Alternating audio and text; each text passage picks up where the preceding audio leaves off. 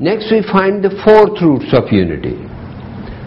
That is 1 raised to power 1 by 4. That is cos 0 plus iota sine 0 raised to power 1 by 4. Which can be written as generalization cos 2 and pi plus iota sine 2 and pi raised to power 1 by 4 that is equal to using De Moivre's theorem cos of 2 and pi by 4 plus iota sine 2 and pi by 4 where n is equal to 0, 1, 2 and 3. Putting the values of 0 we get 1, putting the value of 1 we get iota, putting the value of 2 you get minus 1, putting the value of 3 you get minus iota.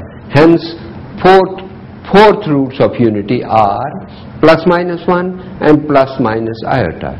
If we plot them on the Argand diagram, they divide the unit circle into four equal parts. They form a square on the unit circle. Just as we have found cube root of unity, fourth roots of unity, similarly we can find nth roots of unity. 1 raised to power 1 by n which can be replaced by cos 0 plus iota sine 0 raised to power 1 by n. We generalize it by adding 2r pi to 0. Therefore it becomes cos 2r pi plus iota sine 2r pi whole raised to power 1 by n. That is generalization.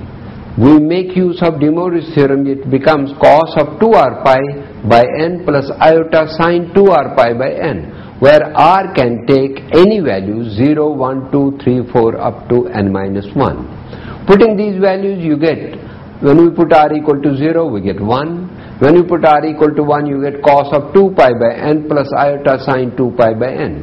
When we put r equal to 2 you get cos of 4 pi by n plus iota sine 4 pi by n and so on up to cos of 2 times n minus 1 pi by n plus iota sine of 2 times n minus 1 into pi by n.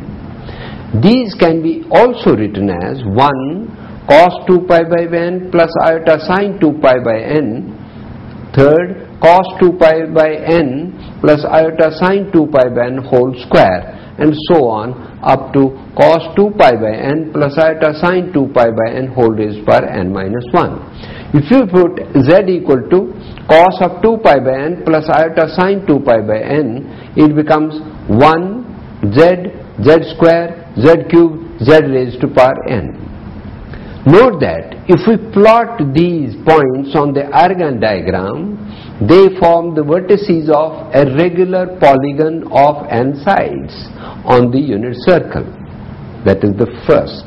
The second property is their sum 1 plus z plus z square plus so on up to z raised power n minus 1 is equal to 0 because this form the geometric series can easily prove to be equal to 0 and the third their product 1 into z into z square into z raised power n minus 1 will become minus 1 raised to power n minus 1 these are the three important properties of the nth roots of unity